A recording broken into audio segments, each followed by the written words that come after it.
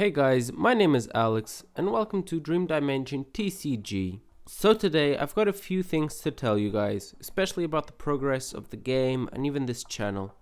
Also in the background there's a recording of what's going to be at the end of every video, so you'll be able to see that. So what new information do I have?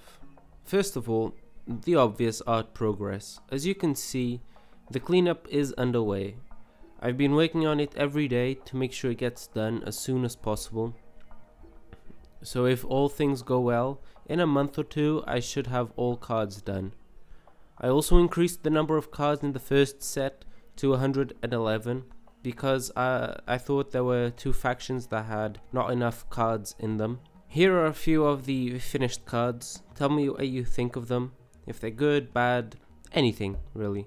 They will all follow this, this structure of having the character in the front with the abstract background, although there might be one or two or more uh, creatures, specifically creatures, that have a, a less abstract background.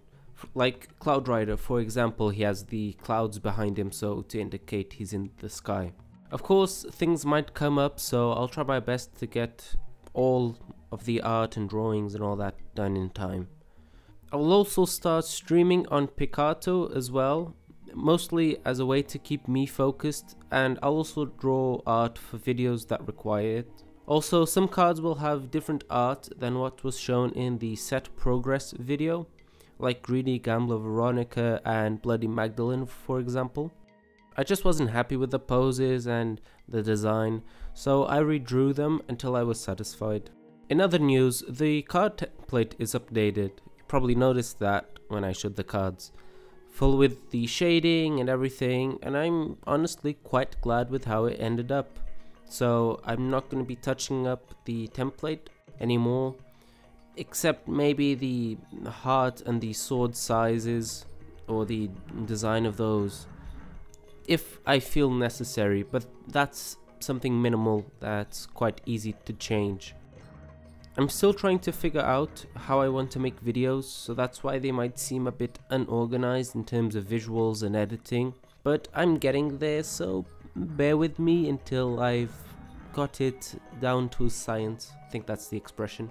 I do however have an idea of how I want to structure videos and the schedule I want to follow, and that's going to be explained better at the end of the video. First I just want to tell you guys everything that I have planned. In terms of playtesting, I'm nowhere near done, I'll be honest. I have been doing it for a while, but I still think I need more because I can think of a few combos that might break the game and I need to test those out. And on the other hand, there are cards that are probably overpowered or even underpowered and might require some tweaking. After doing all the cards, Playtesting will be my main focus though, and so there might not be many videos when I reach that point simply because updates on playtesting is something that I don't think there's any point in doing. But, like I said, the end of the video, or the end of the whole talking, I'll tell you guys my my planned schedule. The playtesting is being done on Untap if you don't know that website, I'll leave it in the description. So not only can anyone give it a try, working out the kinks and the problems that the game might have will also be easier. Do bear in mind though that the cards on there will always be in the sketched form and effects and stats might change as the testing progresses and I know for a fact that there are some cards where the wording is slightly different than what's on the final uh, final product final card. I'm also going to do some speed paints in the future focusing more on certain events of the lore or creature interactions. Right now there are three main events in the lore uh, creation great tear and dream war which set 1 covers for the first few drawings I want to make, they're going to be about the guardians of each faction and how they interact with others of the same faction. You know, just a little extra to give a bit more personality to each character.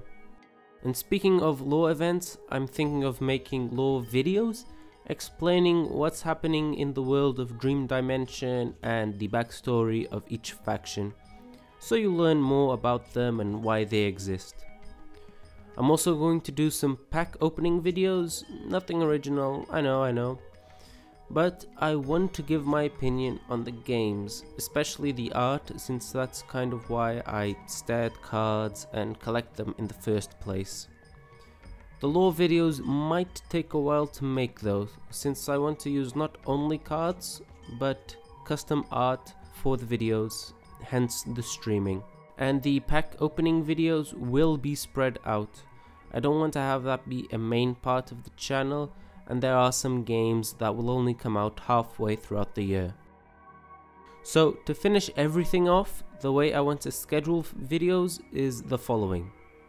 Speed paints, once every two weeks. Talking will only be about the drawing itself and my thought process throughout the, the piece and all that, specifically for the art.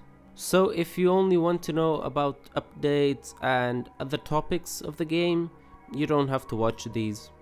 Lore videos will be once a month Doing the art for them will take time, so I'm going to have to spread them out since I've got a game to finish first. Pack openings will be once every 5-6 months, so probably just 2 videos per year. Money is something I don't have plenty of, and like I said before, these videos aren't something I want to post very often so they don't clutter the channel and don't become a main thing. Updates. Well, these won't really follow a schedule, since one week I might have things to show and another I might not. However, I will try my best to keep you guys up to date with the development of the game. And lastly, streams. While not directly related to the channel, I want to stream at least twice a week.